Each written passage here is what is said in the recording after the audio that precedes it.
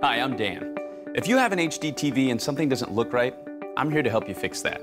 Output and picture settings help ensure you're getting the best viewing experience. Using a remote, push Settings. Use the left and right arrows to navigate to the high definition category.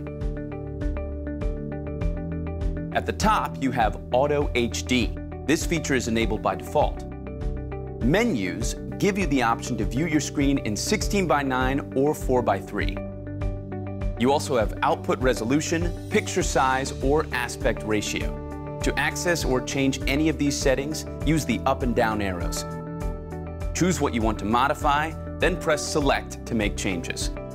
When it comes to picture size, I prefer to watch in the normal setting, so I know if I'm truly watching HD or standard definition. But you have the option to have the picture zoom or stretch to fit the frame. This may help if you don't want to see black bars on the top and bottom or sides of the screen. Next, the output resolution allows you to pick the optimal resolution based on your HD TV specifications. Once you've made your choices, be sure to push Select to save and then C to return to the previous menu. If no change is needed, simply arrow left to go back to the previous menu. When done, press Exit to return to your program. And that's how you can adjust the picture settings for your TV.